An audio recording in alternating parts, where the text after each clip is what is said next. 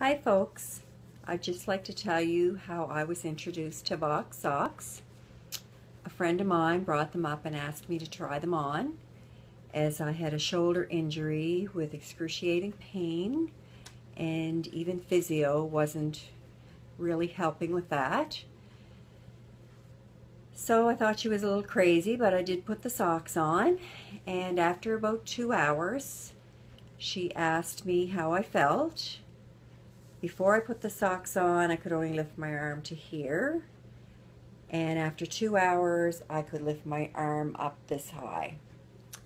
And also noted I didn't have any pain with it.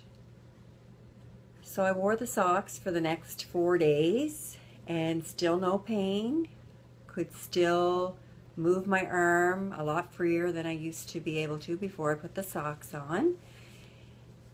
So after about a week of wearing these socks, I also noticed that I didn't even get a headache.